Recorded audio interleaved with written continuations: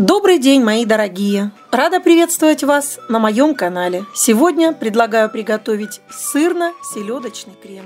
Для этого нам понадобится сливочное масло, отварная морковь, сливочный сыр, филе слабосоленой сельди и готовый хрен. Рецепт я напишу под видео. Все продукты по рецепту перекладываем в чашу блендера